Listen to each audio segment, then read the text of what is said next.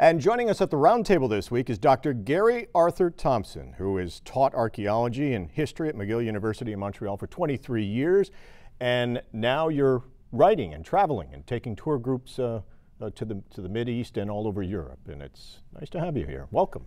Thank you. It's a pleasure to be here. You're from Montreal, but you uh, are really a world traveler. Uh. right.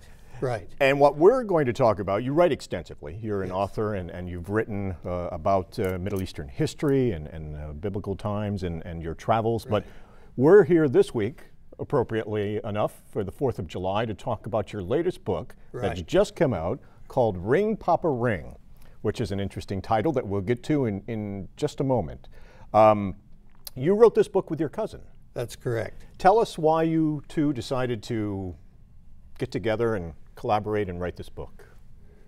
My cousin had been accumul- accumulating a, mount- a mountain of things about our family, and it was all disconnected in one thing and another. And we had this conversation and said, why don't we put this together? So we began an email conversation. He lives in Nebraska, where we came from originally, mm-hmm. and uh, I live in Montreal, and actually, over the last three years, we actually haven't uh, we haven't met personally. Straightforward, it's all been by email. It's something like a, it would happen in a Jane Austen era or something, you know. That's right. Letters going back and forth, and that's how we began to put it together. And uh, it was a good corroboration. It had a lot of spark to it, you know. And this is your family tree. This is tracing your, your family tree, your family history back in time. That's right. And we will start right off with the title, Ring Papa Ring. That uh, uh, tell us about uh, the title.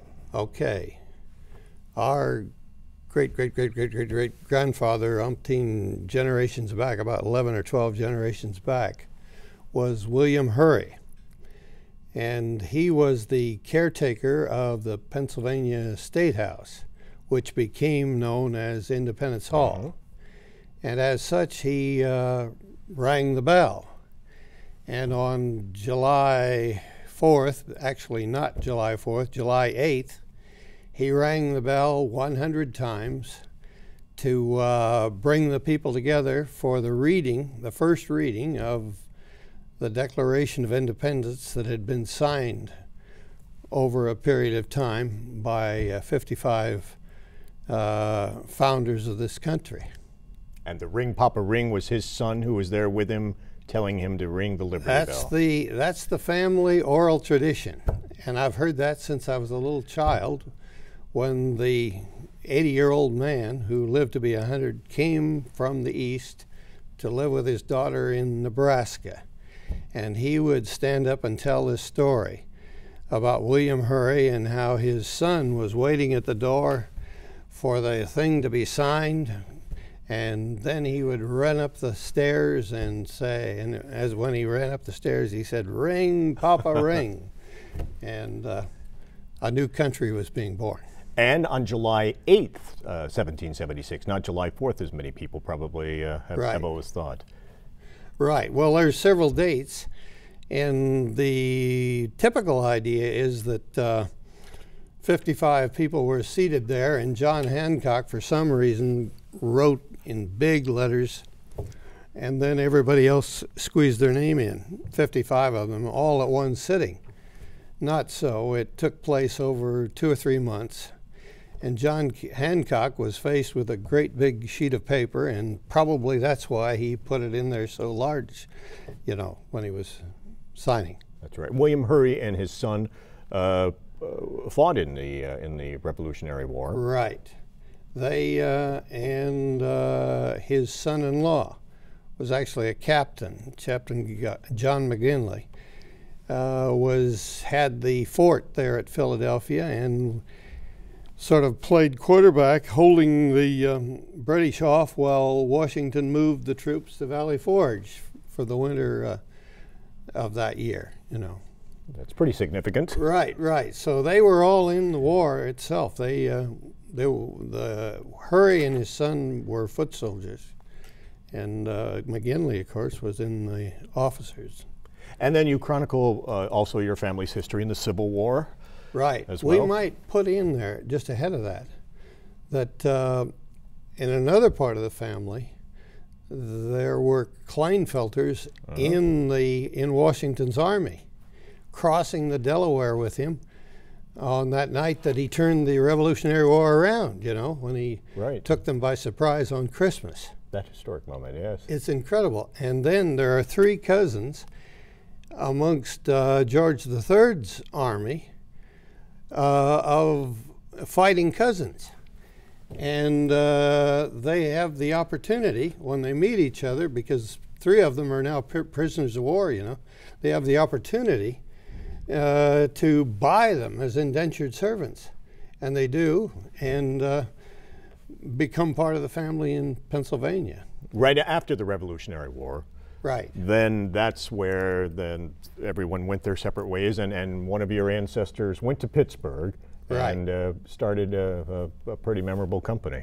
Right. He there was a boiler factory, which uh, and then there was another part of the family that was involved in the keel boating of uh, immigrants into the country. This book is actually a lot about immigrants, um, and, uh, German immigrants, Scottish immigrants, and what have you. So here he was in Pennsylvania, this particular one, keelboating, and his five sons became steamboat captains out of Pittsburgh. One of whom uh, was captain when a fellow named Samuel Clemens wanted to learn how to do it. And Clemens came on, the bo- uh, on board the SS Pennsylvania of Captain John Klinefelter, and they made several trips from uh, uh, St. Louis to New Orleans together. And Clemens was saying to Klinefelter up on the bridge uh, the depths of the river because you had to have enough depth for those steamboats to go through. And when he would say two fathoms, that was 12 feet, he would say, Mark Twain. And out of that, he got his pen name. No kidding. and then, of course, came the famous book. Right, exactly. Life on the Mississippi. Incredible, right. incredible. Right, and Twain's brother remained on the boat when it blew up because the boiler man who was watching girls instead of watching the monitors of the boilers blew up the ship and he died in the incident. Hmm. But Twain records the incident that Klinefelter was sitting there getting his morning shave and he's got his feet on the edge of the what's left of the boat and the barber is still mixing the uh, the soap when Whenever. when the whole thing is over. right. Klinefelter, uh, that uh, is one side of the family, and of course Thomson is the other. And much of the book focuses on your grandparents, on uh, Blanche and Herbert. Right. And their uh, and their story together. Right. And uh, they uh, met in 1905 on a train platform in Colorado Springs, Colorado, and it was love at first sight. Right. Right. And they uh, exchanged letters, and then were married within a couple of years. Right. Right. They, her, they were there because, well, there, there again, it's incredible. Abraham Lincoln passed the Pacific Railroad Act in 1862. Not a spike was driven until 1869. And then in that 40 years, something like 12,000 miles of rail were laid, so that such that they could go from Pittsburgh to Denver or Colorado Springs for this 40th anniversary of the end of the Civil War. And that was the reason for their being there, you know. Joseph Klinefelter uh, was uh, recruited into the Civil War in 1862. He was wounded at Antietam Creek, taken prisoner to Libby Prison in Richmond. Then there was a prisoner exchange, and he was able to go home, uh, recuperate, get married, go back to the battlefield again, and he his work was an artificer of the cannons. He repaired and lighted and hmm. set off cannons, you know, all, all over the in many battles. He ends up down in um, Atlanta with General Sherman. He's there on the top of Atlanta, exactly where Jimmy Carter's center is now, shooting down on the city, you know on the very day that his son, the man I knew, was being born up in Pittsburgh. You know, that was 1864. but he was in quite a few battles and he was wounded again. Stayed in Nashville for a few months to recuperate again, but went back to the battle and was with the 60,000 men who marched with Sherman from Atlanta to the sea. Your grandparents then settled in Nebraska and, right. and farmed there, but this is where we get into part of the Cana- Canadian connection. Uh, a, a few times they they moved to a farm in Alberta, That's right. uh, back and forth a few different Right. times. It's an incredible thing. Once again, Abraham Lincoln, who was a real Federalist, gave a fantastic opportunity for people to have homesteads in Nebraska, which is also in the book, and to buy farms and to uh, expand, to be entrepreneurs, everything. And with the railroads, they can move about. Yeah. So within one generation, they're moving around the country, you know. So here is my grandfather in 1913 buying the first electrically lit car, and by and then about 1914, he makes a deal sight unseen for this land in Canada, trading 80 acres in Nebraska for uh, almost a section of land in uh, Canada. You know, sight unseen. The- and he goes up and checks it out, works it all out, but he doesn't move there till 1920. He moves there in lock, stock, and barrel with his growing family in 1920 to Stettler, Alberta, and farms there for one year. He's fed up, comes back to Nebraska. Seven years later, he returns with his family, and they live there quite a while before coming back to Nebraska. It's quite a story on, on his part. And they were farmers. Yes, yes. So in the in the uh, 20s and 30s, obviously a difficult time probably to for everyone Right, right. that they survived. Well, this is 1920, right, is the first time he goes up there, right after the First World War. He registers for the war. The draft comes into being at the last year of the First World War, as you remember. He registered, We've got the number and everything. My, my cousin Dean has documented this thing right down to the Nats eyelash, you know. Anyhow, 1920, they go to Canada, and uh, uh, then 1928, 1929, they're back again before the Great Depression. They're back in Nebraska. were they affected greatly by the depression? They had a lot of land in Nebraska, and they the, they were hard workers, and uh, they survived. You know, my father was uh, an accountant to start with, and then he became took over some farms, and I was born on a farm in Nebraska at that time. You know, 1935. Yeah, right.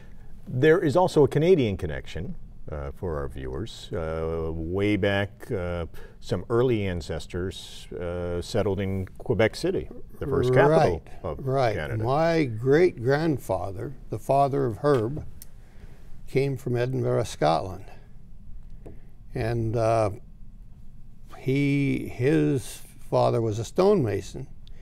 He comes across the ocean with a family named Hutchison, and he's in uh, Montreal for a few years with that family.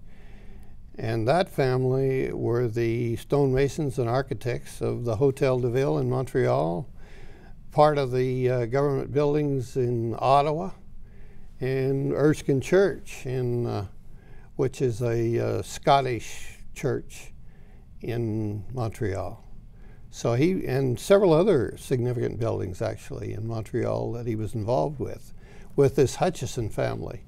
Then he decides to go west, you know at the time when uh, the territories were just opening up. It's before they were, before Michigan or Wisconsin or Nebraska or any of those places were states. This is in the time of the territories. He's out there around 1846, something like that. And things are just beginning to happen. He, he's in Wisconsin when he takes out his citizenship. And from Wisconsin, he takes his bride, who also is Scottish, and they go to Nebraska and are part of uh, the territorial scene in Nebraska for what five, six years before it becomes a state in 1867, mm. the same year that Canada was confederated and was celebrated, uh, what was it, yesterday? Yes, Canada Day. Right, right. Yeah. Right. When you started work on this book, did you have little bits and pieces that you were fascinated by and you said, boy, this looks like a great story here to go and investigate? Or did you know any of this and, and um, like your your other books, I'm sure you you've done extensive research for yes, uh, yes. for your topics. Uh, as you started doing research for this, were you uh, surprised to uncover these bits Absolutely. and pieces? Absolutely. I was surprised at every turn, and I don't think my cousin could fit it into the wider picture of history unfolding. So together we had an interesting uh, dialogue, and and some days we would have the dialogue back and forth. Like, for example, he turns up this fact that uh, one of these ancestors was in Germany and was about to be recruited by into the army there, you know. Mm-hmm. Uh, and so he flees with his sister to uh, to Pittsburgh, but uh, he turns up the German arrest warrant that he had he got out of Darmstadt, you know, and uh, well, there were two or three of them in that same area of Hesse, you know. Where, uh, by the way, there's another thing about uh, history. They often say they were German missionary, uh, missionaries, not missionaries, mercenaries. Mm-hmm. They were not really mercenaries; they were draftees. The aristocrats needed fodder for their uh, army, and they were just going through the country like Florisbach and what have you, you know, or Darmstadt or Dettighofen, wherever these people were, grabbing them up, you know. So he took the opportunity to flee, you know. We've got the warrant for his arrest in German. He comes to Philadelphia, and a poor boy, and becomes very successful. He starts several companies in Philadelphia, you know, including the first American natural gas company. Hmm. And he sells it in 1926 to John D. Rockefeller, you know. So uh, his is a, is a, success story, you know. But that was two or three re- weeks' work right there, you know, back and forth. My goodness, this is interesting, you know. Or then you get in, you suddenly find out that uh, the Ronald family knows Robbie Burns, the Scottish poet. Mm-hmm. And I always loved this poem uh, about turning, uh, turning up a mouse in a field. Wee slickert, cool and timorous beastie, what a panic's in their breasty. You know, when he's turning over this sod and he's uprooted the nest of the mice. Mm-hmm. Turns out that the Ronald uh, who was turning it up was none other than one of my ancestors, you know.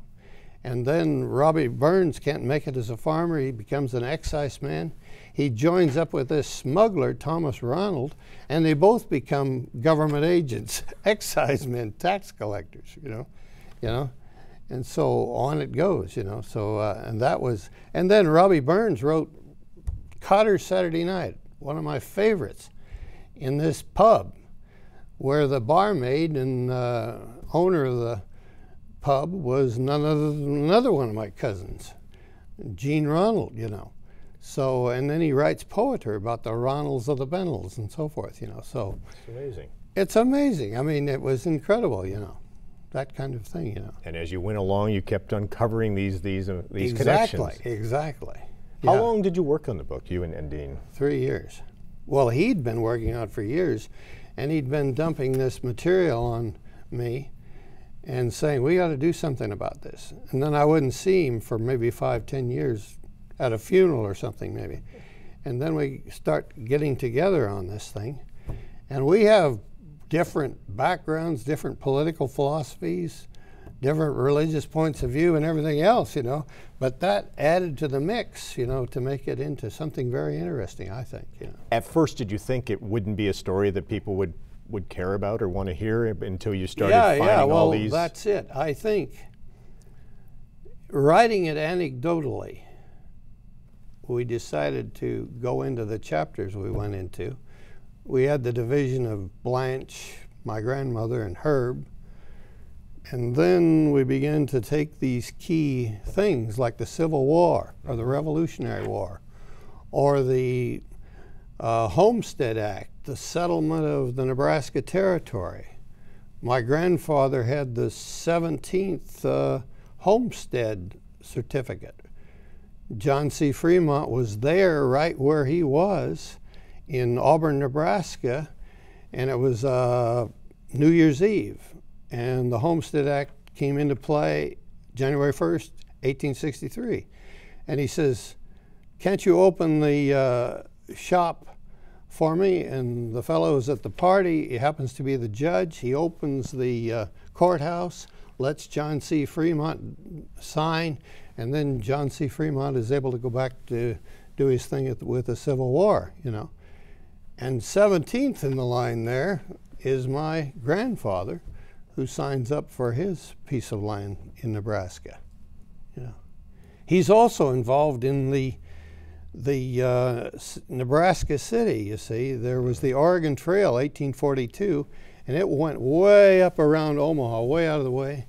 And the U.S. government wanted to move freight through to Fort Laramie, Fort Kearny, Fort, uh, Fort Denver. So they made a they had made a pit stop there. They made a stop right there at Nebraska City, mm-hmm. so that they could cut straight across to Kearny, and that was called the Nebraska City Cutoff. And all of the uh, freighting materials were brought by steamboat to Nebraska City, then loaded on these covered wagons, and taken across the prairies through Nebraska City and west. So J. Sterling Morton, the fellow who started uh, Arbor Day in the United States, mm-hmm. you know, planting a tree. Yeah. He and my grandfather and a couple of other fellows got the bright idea of starting a steam wagon road because all of these things were being pulled by oxen. And they had 14 mile increments that they had travel per day. A steam engine pulling uh, a bunch of freight wagons could maybe go 30 miles a day. Mm-hmm. So they got a steam engine into Nebraska City. And then my grandfather set up a pit stop 30 miles into the territory where this engine could, could come to rest the first night out on the way to Fort Kearney. And that's where he put his homestead. And after, uh, oh, the steam engine belched its way up to the top of Nebraska City Hill and quit, never to go again, you know. But the Nebraska City cutoff continued to be very successful, and he ran a store there at that pit stop for a while, and then he built his homestead, you know, right there. Now that bit of the history was had that been passed down to you, or is that something that you've just uncovered in the past three years? Well, we knew it. Well, we were. I actually worked on the. Well, that homestead has been in the family, so I've farmed with my father on that sometimes. So we knew about that. We knew where the cabin was that he first built, and then he built this house right away after that. But uh, I didn't know the bits and pieces. And I had no idea that he was 17th or that you could document all this thing. And my, my cousin has gone back and documented all this, you know. I went, I went ahead and tried to redocument some things. We made a trip to Germany mm-hmm. to Florsbach, and I went to the Lutheran archives in uh, Kassel, Germany. And it goes back to 1711, you know. Mm-hmm. And then I also did some documentation in uh, Philadelphia. And that's amazing what's in there, you know, and the letters of William Hurry, here they are, you know, uh, to the Continental Congress. I need more paint. I've got to plaster this wall, and would you give me some whiskey? Because this will get the guys going, okay? They're all Scotsmen, you know. They're a bunch of Scotsmen and they, they love their whiskey, you know. Payment for the construction crew. That's it. Yeah. And as you uncovered that, uh, again, just fascinating to, uh, yeah. to learn about, especially about William Hurry and, yeah. and, and yeah. his role. Yeah, well, that, again, uh, I was shocked. I happened to be a Presbyterian or was. Uh, and uh, I thought, oh, there were Presbyterians in Philadelphia, there were Quakers, there were everybody mm-hmm. else. Yep. Turns out that a lot of these Presbyterians were had a chip on their shoulder long before they came to America with the king. They were part of the nonconformists, the Quakers, the Methodists, Yeah. the Baptists, the Presbyterians, and they were all outsiders to the monarchy and its state church in England, and they were given a bad time over there all the time, you know. So when they get over here, they're quite ready to sign up and boot the Brits out, you know. The monument that we see to uh, William Hurry, that's is that right in Philadelphia? Yes, it's at that old pine church, and, and it's basically a churchyard with a lot of uh, uh, 13 star flags, you know. And, uh, and there are many, many uh, people in that cemetery there at Old Pine.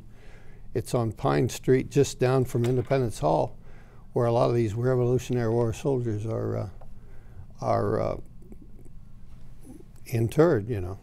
Right. For people who think, ah, our family history is probably boring and, you know, don't think Yeah, yeah. about researching it and, and, and, and uh, uncovering the family tree, Yeah. perhaps your story would be a good example of, uh, of if they do that, they might be surprised by what they find. Exactly, exactly. I'd like to follow up your, your name. It sounds very interesting to me. Well, uh, on one side English, on the other Irish, and I, I bet you're right. At some at some point, I would love to go back and, and do what you did. And and if we uh, were lucky enough to uncover the gems you did, uh, it would certainly be a, a family story Right. uh, to be proud of. Right, right. An exceptional read, and we appreciate you taking the time to to come in. Ring Papa Ring is the title of the book. If folks are interested in, in finding it, where can they find it locally? Simply Amazon.com It's easiest. and just put in Ring Papa Ring Thomson And they'll and have up it. will come, you know. Yeah, it's been on there, it's been doing well actually. And uh, I was in Philadelphia last two weeks ago and uh, made a presentation at Independence Hall. Mm-hmm. and they were quite taken with it. You know, they're vetting it now, as they say, Yeah. modern lingo. Three years of legwork into this book, have you uncovered everything, or do you now look at this and say, ah, maybe we, uh, maybe we continue on? I was this week, just two days ago, in Vincennes, uh, Indiana, where George Rogers Clark was at the instigation of Patrick Henry, was west of the Alleghenies, trying to take the lands the British still he- held at the end of the Revolutionary War, and he did so. With a little band of 180 soldiers, he's able to take uh, away from the British six states Indiana, Illinois, Wisconsin, Minnesota, and so forth out there. So that's a fascinating story that I knew, knew nothing about. And it's right at the point where Abraham Lincoln went across the Wabash River into uh, Illinois and started his career shortly after uh, uh, this happened, you know. So there's many things to follow up on this kind of thing, you know. And you don't know if uh, any of the, your ancestors were part of that or not. so I don't know, but I like to I like to link up with history, and I think it's like when I studied German, I learned to speak English better, and I think um, this taught me a lot more about American history than I knew. It and it makes our family much uh, a part of that that fabric, you know. And obviously for the family, it uh, it must be wonderful for them, a sense of pride to know that uh, that so many of your They're having a reunion uh, next month. And I don't know whether to go or not. There'll be those who are very happy about it, I suppose, and those who will uh, maybe not feel the same way, maybe feel left out, you know. You can't include everyone. No, you can't. But I'm sure that they'll be happy with the job you guys did. It's a Yeah. wonderful book, and it certainly uh, showcases uh, the history of an American family. Thank you very much Gary for having me here. thank you for coming down from Right. Montreal and seeing us today, and uh, we Right. appreciate it. right. Thanks. It's been a pleasure.